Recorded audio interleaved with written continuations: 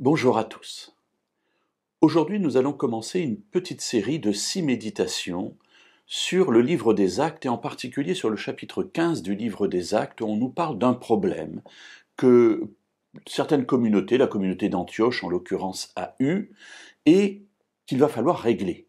Et j'aimerais, au cours de cette semaine, voir comment cela s'est réglé. Nous n'entrerons pas dans tous les détails de la problématique, on va l'énoncer aujourd'hui, mais euh, ce qui m'intéresse, c'est la manière, le processus euh, dont l'Église va se servir pour trouver une solution et la présenter ainsi à la communauté, et ensuite, eh bien, quel sera l'effet de cette décision sur la communauté en question. Alors, la problématique se pose à Antioche.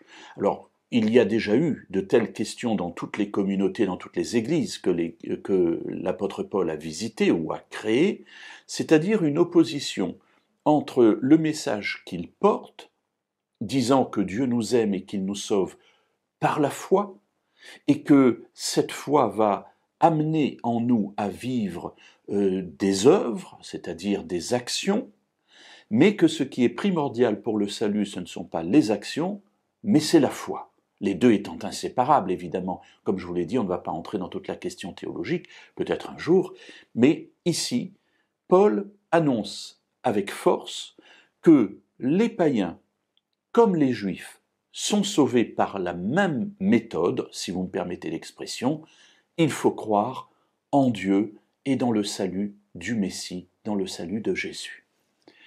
Et voilà que un certain nombre de personnes euh, viennent de Jérusalem, nous dit le texte biblique. Alors ce sont des croyants euh, messianiques, ils croient que Jésus est le Messie, mais ils n'ont pas encore tout à fait compris ce salut par la foi. Et eux, ils enseignent qu'il faut être sauvé en pratiquant les commandements donnés par Moïse, c'est-à-dire obligatoirement être circoncis et observer toute la loi de Moïse, et que cela n'est pas valable que pour les juifs, mais aussi pour les croyants issus euh, euh, du paganisme.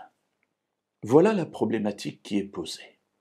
Et euh, c'est cela qui va nourrir des discussions, et nous en reparlerons demain, pour aboutir ensuite à une décision.